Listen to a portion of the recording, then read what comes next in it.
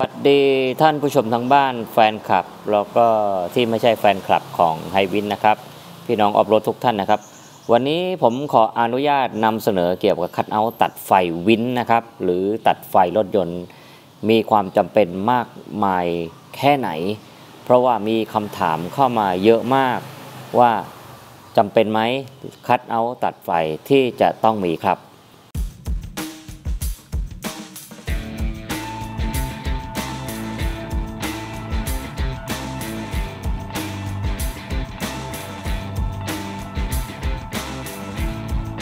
ในคลิปนี้เรานำรถยนต์ Toyota Fortuner นะครับ TRD มานำเสนอประกอบควบคู่กับ h i w i n f a s t 7 f a s t 7 อีกแล้วครับทำไมต้องเป็น f a s t 7 เราติดตามกันต่อไปครับ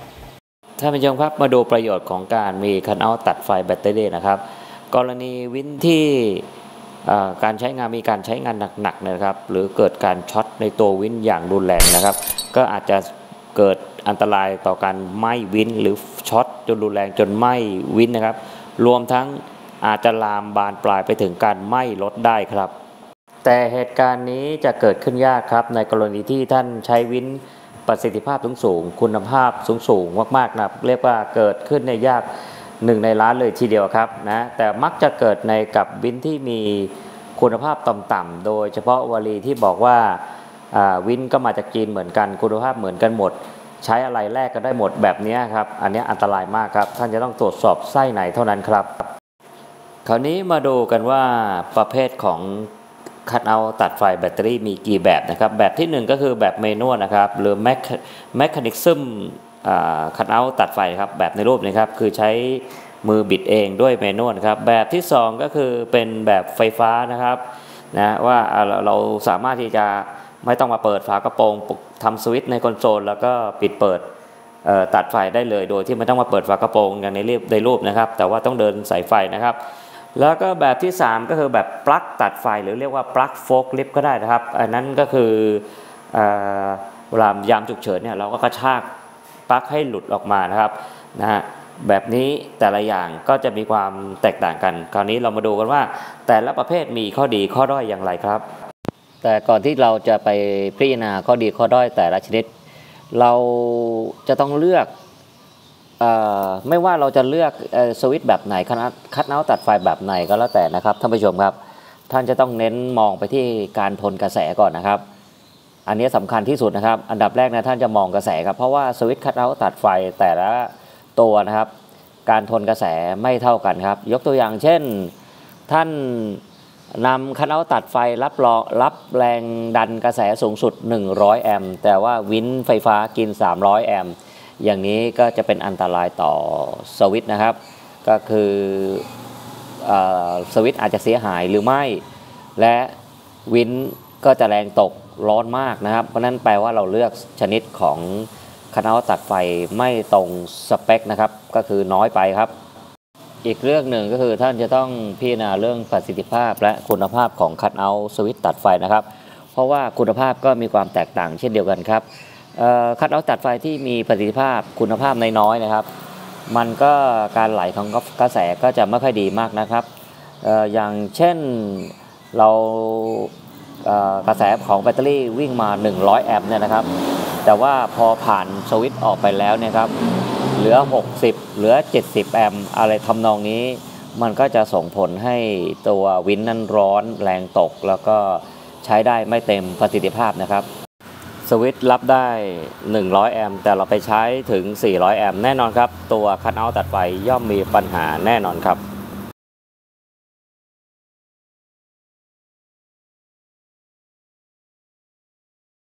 ท่านผู้ชมครับ แต่ทางเราไฮวินนะครับ เรานำตัวคัดเอาแบตเตอรี่แบบนี้นะครับ มาติดตั้งให้กับลูกค้าเนี่ยไปหลายคัน แต่ว่าเราไม่ได้นำเสนอไปนะครับ ตัวนี้เเราใช้เองด้วยนะครับ เราใช้ถึงขนาด 2 มอเตอร์นะครับ ก็ยังไม่เคยมีปัญหาอะไรเลยครับนะเราเองก็ไม่รู้ว่ามันดีหรือไม่นะครับ เราก็ไม่เคยผ่าดูข้างในนะครับ แต่ว่าเราใช้วิธีสังเกตนะครับ ก็คือเราเราใช้เองนะครับ แล้วก็วิธีสังเกตอันที่สองก็คือน็อตน็อตตัวนี้ครับท่านผู้ชมครับจะใหญ่ ตัวนี้ M16 นะครับ เป็นน็อตที่ใหญ่มากนะสะพานไฟที่ใหญ่ๆแอมสูงๆนี่ครับน็อตจะต้องใหญ่ตามนะครับน็อตจะต้องใหญ่ตามนะฮะสะพานไฟ แล้วก็มีหลักไฟเล็กๆ ตัวนี้ไว้ให้เพื่อเราจะได้ต่อไฟอาจจะเป็นหลอด LED สักดวงหนึ่งเล็ก ๆ นะฮะเป็นหลักดินนะครับ ส่วนตรงนี้เป็นบวกนะฮะพอเปิดปุ๊บก็จะถึงกันทำให้ไฟติดนะฮะสถานะก็คือไฟติดให้เห็น แต่ว่าส่วนใหญ่ก็ยังไม่ต่อแล้วครับเนี่ยตัวนี้ใหญ่มากครับ ถ้าดูจากฝ่ามือผมเนี่ยมันจะใหญ่กว่าปกติในท้องตลาดค่อนข้างมากนะครับ เขียนไว้ถึง 1,500 แอมป์ทีเดียวครับ นะวินเราต้องการเพียงแค่เต็มที่ 500 แอมป์นะครับเพราะฉะนั้นตัวนี้ผ่านแน่นอนสำหรับมอเตอร์เดียวแล้วก็ถ้าเป็นมอเตอร์คือคู่นะครับ มันก็เทียบเท่ากับ 1,000 แอมป์แต่ตัวนี้เขียนไว้ 1,000 แอมป์มันก็เลยไม่มีปัญหาแน่นอนครับ เพราะฉะนั้นท่านผู้ชมจะต้องคำนึงถึงตัวกระแสที่มันจะรองรับนะครับ อย่างตัวนี้ตัวแดงๆเขียนว่า disconnect กับ connect นะ disconnect คือปลดออกนะตัดไฟนะครับ connect คือต่อนะครับเนี่ย connect คือต่อ แล้วก็ disconnect คือตัดไฟตามลูกศรด้วยนะครับ มันจะมีลูกศรอยู่นะครับ ถึงชนิดแบตเตอรี่คัดเอาชนิดควบคุมด้วยแบบไฟฟ้านะครับ เราก็ไปค้นหากันเลยครับ ในหน้าเว็บของ Ally Express นะครับ ซึ่งเป็น ศูนย์รวมของสินค้าจีนนะครับว่าหน้าตาจะเป็นอย่างไรนะครับ เราก็นะพอค้นออกมาแล้วเนี่ยมันก็จะมีชนิดของรีเลย์สารพัดหลากหลายนะครับ แต่เรายังไม่เจอครับ เดี๋ยวลองหาไปอีกสักแป๊บหนึ่งครับ และแล้วเราก็มาเจอแบตเตอรี่คณะแบตเตอรี่นะชนิดควบคุมด้วยไฟฟ้านะครับ ท่านผู้ชมจะเห็นว่ามีรีเลย์ตัวใหญ่หนึ่งตัว แล้วก็ใต้รีเลย์จะมีรีโมทไร้สายควบคุมหนึ่งตัว แล้วก็กล่องดำๆทั้งขวานั้นอีกหนึ่งตัวนะตัวนี้เป็นตัวรับนะครับ ในกรณีที่เราต้องการที่จะควบคุมสั่งงานแบบระยะไกลครับครับ เราโฟกัสไปให้ใกล้ชิดอีกนิดนะครับ ก็รีเลย์ก้อนใหญ่ ให้เห็นตัวกลมๆเราเรียกว่าซีรีเลย์ซาลาเปาก็ได้นะครับ ซึ่งมีขายบ้านเรานะครับ ตัวน่าจะ 200 300 400 อยู่ไม่น่าเกินประมาณนี้ แต่ว่าไม่เขียนแอมป์ครับท่านผู้ชมครับ เพราะฉะนั้นท่านผู้ชมต้องตรวจสอบเรื่องกระแสนะครับ ถัดมาก็เป็นตัวรีโมทไร้สายนะที่จะสั่งระยะไกล แล้วก็แอปพลิเคชันที่นำไปใช้นะครับ ก็คือในรถยนต์รถเก๋งในเรืออะไรพวกนี้เราสามารถที่จะไปนำไปใช้ได้หมดแต่ ต้องอไม่เกินนะครับ กระแสต้องไม่เกิน อย่างวินของแบบของเราที่เราใช้กันอยู่อยู่เนี้ยนะครับ 400 แอมป์ขึ้น ต้องไม่น้อยกว่านั้นนะครับ คราวนี้ไม่ดีมาดูตัวอย่างอีกสักตัวครับท่านผู้ชมครับไอ้เจ้าตัวนี้บอกไว้ 100 แอมป์นะครับอ่าแบบนี้มีคำตอบแล้วท่านผู้ชมครับ แปลว่าจนเมื่อรับ 100 แอมป์เนี่ยนะครับ แบบต่อเนื่องนะครับ วิน 400 แอมป์ใช้ไม่ได้แล้วครับท่านผู้ชมครับ แบบนี้ท่านต้องเปลี่ยนแล้วครับ หาใหม่ครับนะหรือถ้าจะจากจะใช้จริงๆ ก็ต้องเอามาขนานกันสัก 4 ตัวนะเพื่อความปลอดภัยถึงจะใช้งานได้เต็มประสิทธิภาพนะครับท่านผู้ชมครับมาอีกชนิดหนึ่งก็คือชนิด Quick Connect หรือเป็นแบบ ตัดทั้งบวกและลบกระชากทีเดียวหลุดทั้งบวกและลบออกมาเลยนะครับนะมันจะมีให้เลือก 50 120 แอมป์ตามในรูปภาพที่ผมแสดงให้เห็นนะครับ เป็น Quick Connect แบบชนิดนี้นะครับ มักจะนิยมใช้ในพวกโฟกลิฟครับนะที่ต้องการถอดแบตเตอรี่ยกยวงเลย แล้วเป็นเอาไปชาร์จ หรืออะไรก็แล้วแต่นะครับ แล้วก็พวกรถดัมรถดัมที่มีวินนะครับ หรือไม่มีวินก็แล้วแต่นะครับ ก็คือ บางครั้งเวลาจะยกหัวดัมขึ้นมาเนี่ย ออกเทดินออกจากดัมเนี่ยครับมีวินอยู่ข้างบนนี่ฮะสายไฟก็จะตึงและขาดได้ ก็ใช้วิธีก่อนยกดัมเนี่ยก็กระชากปลั๊กออกเลย แต่ต้องดึงตรงๆนะครับนะเพราะถ้าดึงชิงเฉียงหรืองัดเมื่อไหร่ปั๊บเนี่ยมันจะมีโอกาสแตก เพราะว่าเออมันเป็นพลาสติกทนความร้อน พลาสติกที่ทนความร้อนมักจะกรอบนะครับ เพราะฉะนั้นเราจะต้อง ดึงตรงๆนะครับนะมีให้เลือก 50 แอมป์120 แอมป์175 แอมป์แล้วก็ 350 แอมป์ท่านผู้ชมจะต้องเลือกที่ 350 แอมป์นะครับ เพราะว่าวินกินไฟ 300 ขึ้นไป ถามว่าพอไหม มันก็พอได้ครับกำกึ่งกำกึ่งไปนิดนึงนะกำกึ่งไปนิดนึง ยังพอรับได้นะแต่ถ้ากรณีเป็นวินน่ะที่ไม่มีการขึ้นตัวเหมือนรถดำอะไรพวกนี้นะ เป็น Quick Connect ชนิดนี้นะครับ ซึ่งเป็นชนิดสุดท้ายที่เราจะนำเสนอเนี่ยครับ เราตัดบวกทั้งคู่ไปเลยครับ ก็คือเอาบวก กับบวกเนี่ยเป็นสองขาไปเลยครับ ลบเนี่ยเป็นลงตัวถังไปนะเพื่ออจาก 350 มันจะได้ 700 แอมป์นะเป็นการเพิ่มกระแสตัดเฉพาะบวกก็พอครับนะแต่ว่าถ้าตัดทั้งบวกและลบแล้วก็ต้องยกวินออก อันเนี้ยเหมาะกับพวกวินย้ายวินอยู่ตลอดเวลา เช่น ใช้วินหน้าวินหลังเราต้องใช้ปลั๊กแบบเนี้ย ติดตั้งรอไว้ทั้งหน้าและหลังนะครับ อันนี้คือประโยชน์ของเจ้า Quick Connect หรือปลั๊กไฟนะท่านผู้ชมครับเรามาดูตำแหน่งการติดตั้งคัตเอาท์นะครับ เพราะว่าถ้าหากว่าเราติดตั้งผิดตำแหน่งผิดที่ผิดทางนะครับไอ้เจ้าคัตเอาท์เนี่ยนะครับ มันก็จะส่งผลให้วินของท่านนั้นร้อน แล้วก็แรงตกเรียกว่าปัญหาเนี่ยไม่น้อยกว่าการเลือกคัตเอาท์ที่ ผิดประเภทด้วยครับ เพราะนั้นเรามาดูกันว่าตำแหน่งที่ติดตั้งที่เหมาะสมที่ดีที่สุด ในการที่จะทำงานควบคู่กับวินนั้น ตรงไหนดีที่สุดครับ แต่คงต้องมารับชมกันในตอนที่2แล้วครับท่านผู้ชมครับ เพราะว่าเรื่องของตำแหน่งการติดตั้งเจ้าคัตเอาตัดไฟตัวนี้นะครับ มันจะต้องเห็นภาพ แล้วก็ บรรยายหรืออธิบายให้เข้าใจได้ง่ายเนี่ยผมต้องไปถ่ายทำในรถที่ติดตั้งอีกทีหนึ่งไม่ได้เก็บบรรยากาศทั้งหมดไว้นะครับ แล้วก็เดี๋ยวจะได้อธิบายอย่างละเอียดมากขึ้นอีกในเรื่องของตำแหน่งงานติดตั้ง เรามาดูกันต่อเลยครับว่าเจ้า Toyota Fortuner คันนี้ทำไมถึงได้ตัดสินใจเลือก h i วินฟาสเจ็ดอีกอีกแล้วครับฟาสเจ็ดมีดีอะไรติดตามคลิปกันต่อไปครับ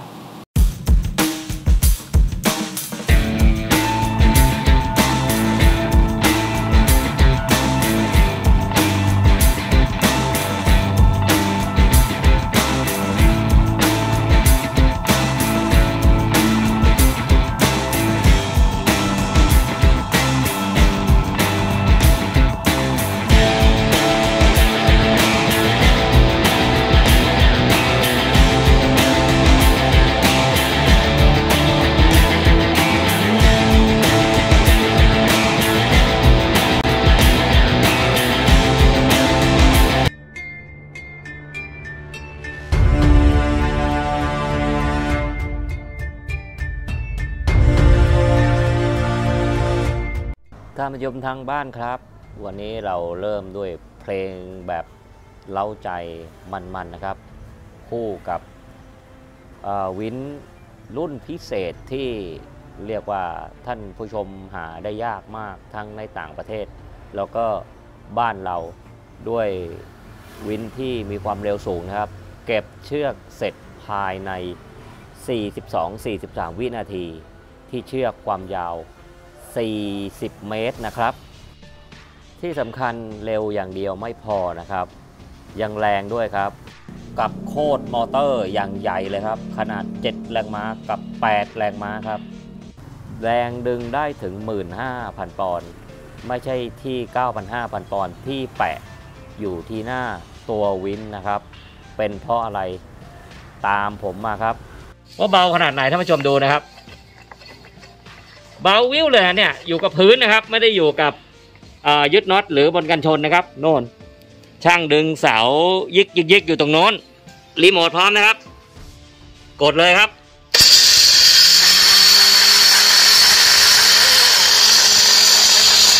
มีดูม้าแท้ไม่แท้ ไม่ต้องแกะข้างในก็ได้ ให้ดูจากนี้หลักนี้ถึงหลักนี้ครับอันนี้เริ่มหดเข้ามาแล้วแปลว่าทุ่นเล็กลงครับไอ้นี้หดหนักครับพี่ครับ สมาชิกทุกท่านแล้วก็แฟนคลับของไฮวินทุกท่านนะครับ เราขายความจริงไม่ขายฝันนะครับ ขายฝันก็คือไม่เน้นคุณภาพ แต่ว่าเน้นเรื่องของกำไรเป็นหลักนะครับ ยกตัวอย่างเช่น เราสั่งของในในออนไลน์นะครับในโซเชียลนะครับ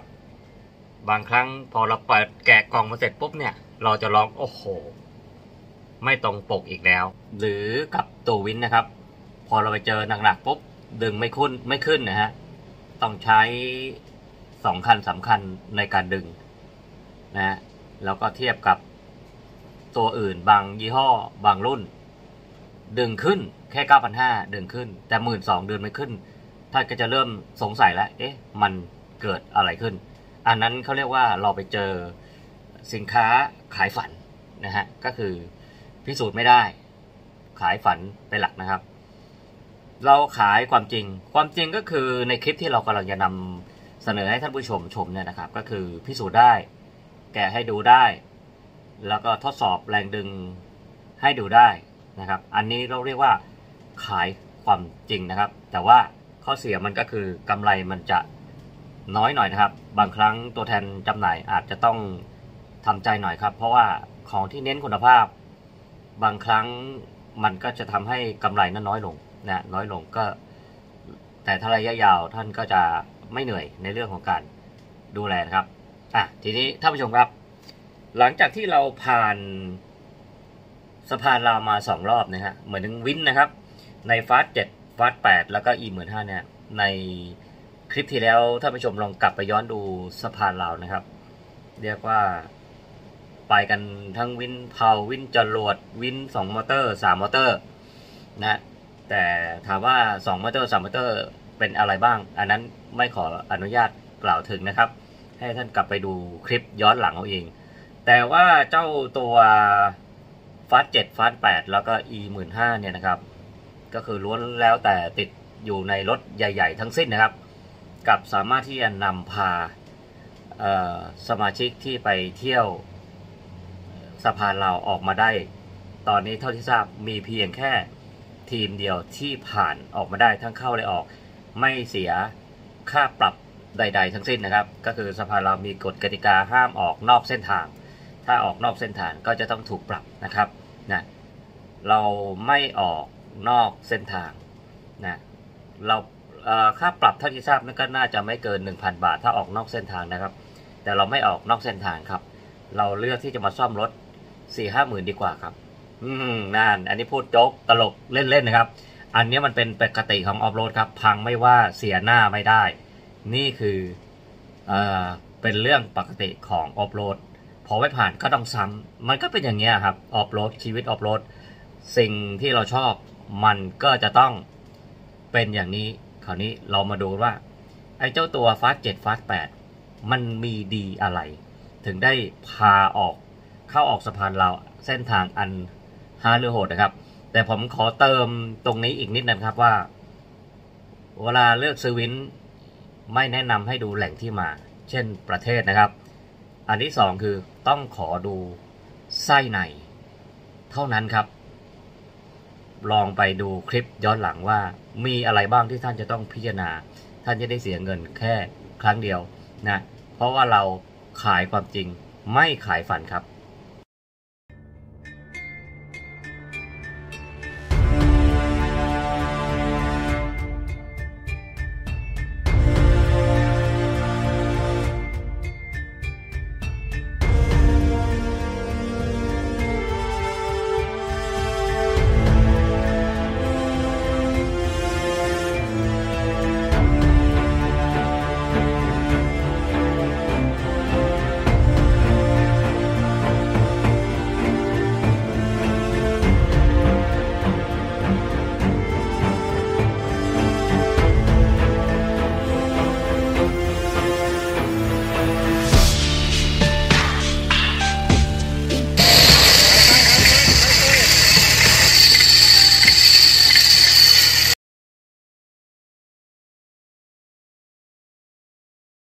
ท่านผู้ชมครับ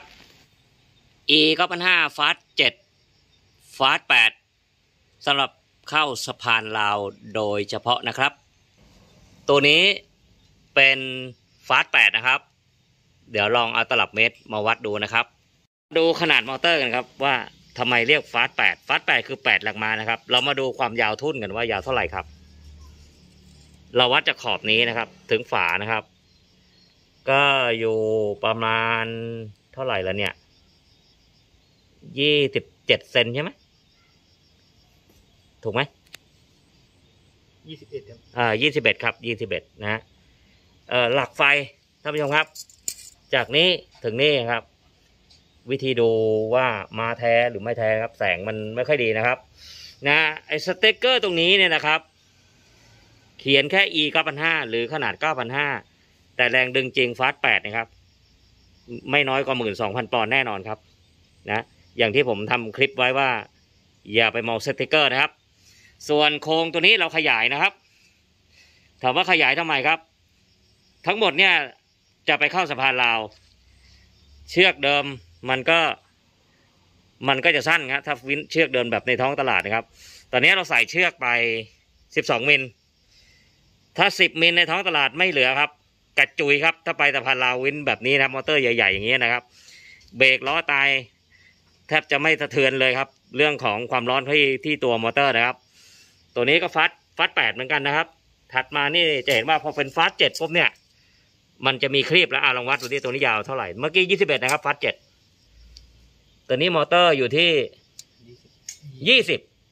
นิดเดียวครับ อ่า ตัวนี้ก็เหมือนกัน อ่าตัวนี้ก็ฟัดเจ็ดนะครับ แต่จะเห็นว่ามีเขียนคำว่าเจ้าของเขียนว่าเหลิม หรือว่าเฉลิมนะครับ แล้วก็จะแลดูเก่าครับอันนี้ไม่มีอะไรครับ ลูกค้าต้องการจะมาขยายโลเฉยๆให้ใส่เชือกได้ 40 เมตรนะครับ นะนี่อันนี้ก็ฟัดเจ็ดสีเหลือเหมือนกันนะสองตัวครับลวด แล้วก็มาฟัดเจ็ดตัวนี้อ่อรุ่นใหม่ครับ มันจะไม่มีคีบนะครับ แล้วก็มาฟัดเจ็ดอันนี้โลเดิมน่ามาดูโลเดิมครับท่านผู้ชมครับ จะเห็นว่าอันนี้โลเดิมนะโลเดิมอย่างนี้นะใส่เชือกถ้าเป็น 10มิลก็ได้ประมาณ 30ถึง35 ถ้าเป็นวินมาตรฐานก็ได้ 25 26 20ไม่เกิน 28 ก็เต็มละนะแต่ถ้าอย่างเงี้ย10มิลก็ได้อยู่ประมาณ 30ถึง35 นะครับนะอะเดี๋ยวลองเอาโลเดิมมาวางคู่กันอะท่านผู้ชมครับ อันนี้ผมยกวินขนาดมาตรฐานเข้ามานะครับ จะเห็นว่าหลักไฟเหลือแค่นี้ฮะอันนี้เป็นวินล็อกนะครับ มอเตอร์เหลือแค่นี้ครับ เมื่อเทียบกับตัวโน้นตัวโน้นทั้งหมดเนี่ยคนละเรื่องเลยครับนะและนี่ก็เชือก 10มิลเนี่ยแน่นแล้วครับ มาเทียบกับตัวเนี้ยก็จะใส่ได้มากกว่านะฮะตัวนี้จะได้มากกว่าตัวนี้ วินสไตล์ทรงก็เรียกทรงมาตรฐานอย่างนี้นะ90%จะเป็นวินแบบนี้นะครับ ก็คือทรงมาตรฐานข้อดีคือราคาถูก ข้อเสียคือถ้าวินแรงๆมันจะขาดที่หู หลายท่านเนี่ยคงจะโดนไปแล้วหลายท่านอะทีนี้เดี๋ยวเรามาดู ระบบฟรีลมของเจ้ารุ่นนี้ นะครับ ว่ามันเบาขนาดไหนครับ อะปลดฟรี ตอนนี้เชือกอย่างที่ขอโทษอีกนิดนะครับ ตัวนี้เชือก 12 มิลนะครับ ดูในกล้องมันอาจจะไม่ไม่ออกนะครับนะแล้วก็ใส่ได้ไอตัวนี้เชือกความยาวประมาณ 40 เมตร ไม่ประมาณนะ40 เมตรเลยละครับ อะทีนี้ ลมจ่ายลมก่อนช่างถนนจ่ายลมปุ๊บมันจะฟรีนะครับ ดึงไปจะเห็นว่าน็อตไม่มีนะครับ ว่าเบาขนาดไหนท่านผู้ชมดูนะครับ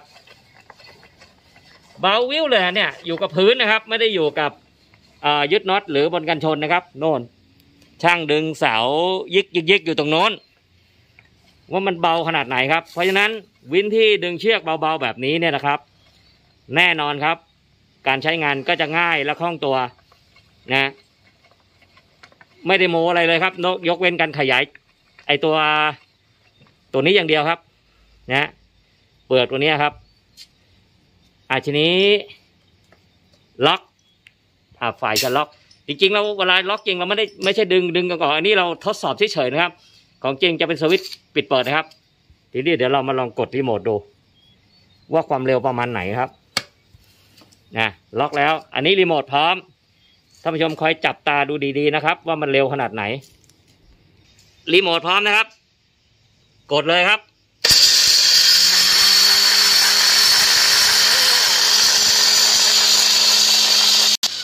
เร็วขนาดนี้เลยครับ เนี่ยตัวนี้นะครับเอ่อที่จริงเอ่อเอ่ออยากจะเทสมากกว่านี้ นี่คือฟรีเบานะครับ เนี่ยคนเสาวอยู่ตรงนี้เองครับ อยู่หน้าวินเนี่ยครับ อะพอละท่านผู้ชมครับ เดี๋ยวผมลองจับเวลาดูว่าเชือกขนาด 40 เมตรนะครับ ใช้เวลาเก็บนานแค่ไหนนะครับ ตอนนี้เชือกเราคายไปก็คือเหลืออยู่ติดในโลนิดเดียวโน่นอยู่นู้นนะครับ แล้วก็เราก็มีนาฬิกา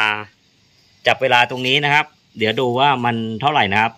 ผมจะกดตรงนี้นะครับ แล้วก็รีโมทอยู่ตรงนี้ คนละคนกันนะครับ อ่า เตรียมพร้อม กดครับเดินเลยอ้าวเดินแล้ว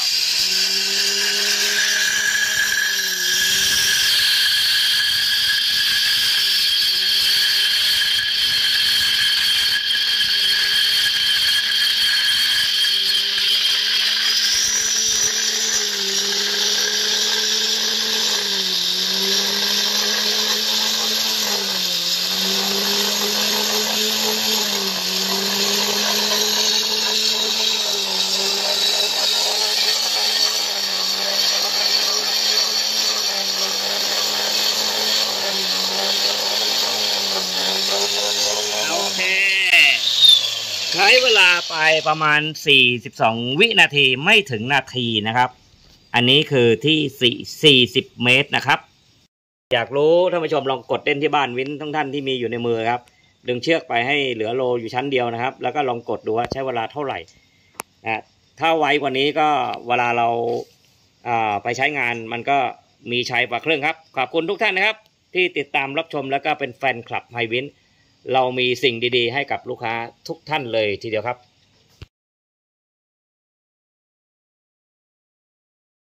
ที่ดูม้าแท้ไม่แท้ ไม่ต้องแกะข้างในก็ได้ให้ดูจากนี้หลักนี้ถึงหลักนี้ครับ อันนี้เริ่มหดเข้ามาแล้วแปลว่าทุ่นเล็กลงครับไอ้นี่หดหนักครับพี่อืมคือทุ่นมันจะอยู่ช่วงหลักนี้มันจะไม่เลยมาถึงนี่นะใช่อันนี้ความปลอดภัยครับสำคัญครับ ก็คือเวลาเรากดวินเข้าไปแล้วเนี่ย เวลาเราหยุดรีโมทเนี่ย มันจะต้องเบรกรถไว้ไม่ให้ไหลแต่ไอตัวเนี้ยจะทำหน้าที่ ถ้าตัวนี้ไม่มีหน้าที่หรือขี้เกียจทำงานเนี่ยอันตรายละโดยเฉพาะด้านด้านล่างเป็นเหวเป็นอะไรพวกเนี้ยเป็นเหวเป็นคลองแล้วใช่ลูกครับปืดลงไปเลยเคยไอ้เจเนี่ยอกับตาครับถูกต้องเจอมาแล้วเนาะตัวนี้ทุ่นมันเล็กครับทุ่นมันเล็ก คือทุ่นมันเล็กเนี่ยมันก็หมดแรงง่าย พอหมดแรงง่ายปุ๊บมันหยุดไปเนี่ยไอ้ตัวนี้ต้องทำงานต่อเบรกอะครับ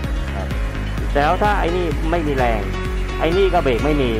อันนี้คืออันตรายเอ่อหน้าสัมผัสน้อยกึ่งกึ่ง brushless แต่ไม่ถึง brushless ครับมอเตอร์ brushless ลูกค้าลูกเราต้องไปค้นเอาเองนะ brushless ครับคืออะไรนะครับนะ และนี่คือฐานทั่วไปอืมอย่างนี้ครับมันเป็นทะมันมันเป็นซองชุบซิงค์สังกะสีผ้าเบรกตัวเนี้ยมันมันไม่ได้ล็อกด้วยสปริงเหมือนยี่ห้ออื่นเขานะครับเพ ราะแล้วก็ผ้าเบรกเนี้ยมันจะสีอยู่ก็บอก เพราะฉะนั้นไอ้ตรงเนี้ยมันจะลดความร้อนบิ๊กเอาเสือเบรกไอ้ตัวที่มันติดตัวมาเนี่ยมันเป็นเหล็กทั้งดุ้นเลยอือฮึมันอยู่อย่างเงี้ย ครับ เนี่ย มันจะสี มันจะสีก็บอก กระบอกก็จะร้อนมาก พอร้อนปุ๊บเนี่ยเชือกละลาย ครับต้องส่วนใหญ่ก็จะบอกว่าหกแรงม้าครับ เนี่ยนะหกแรงม้า ตัวเนี้ยครับ ส่วนใหญ่เป็นลูกแรงม้า ลูกม้า ลูกม้า ลูกม้า อ่าลูกม้าที่พ่อม้าเด็กครับ แท้